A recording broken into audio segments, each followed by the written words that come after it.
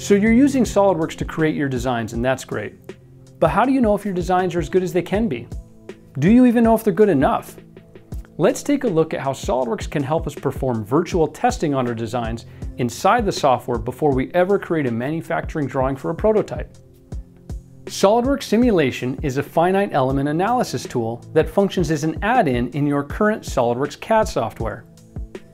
Rather than spending your time exporting models from SOLIDWORKS into some other software to analyze, you stay inside of SOLIDWORKS, which means faster design iterations and ultimately shorter design cycles. Because simulation works inside of SOLIDWORKS, you can spend your time improving your design rather than wasting it learning a new software. The commands in simulation are intuitive and the setup is straightforward. You'll be improving your designs in no time.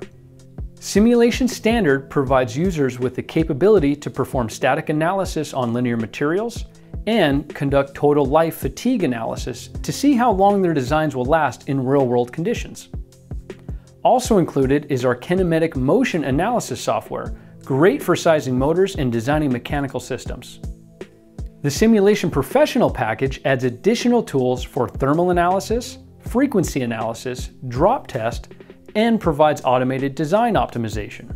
Our top package, Simulation Premium, provides all these tools as well as extra capabilities to analyze nonlinear materials such as plastics, rubbers, and composites.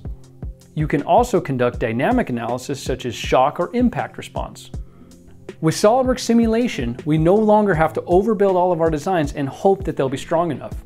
We have the power to validate throughout the design process to ensure we're making intelligent design choices that ultimately improve our products. If you'd like to see some examples of various tests we can run with SOLIDWORKS simulation, click up here.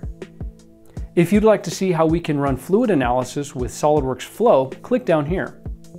If you're ready to start creating better designs and speeding up your design process, please contact us at GoEngineer.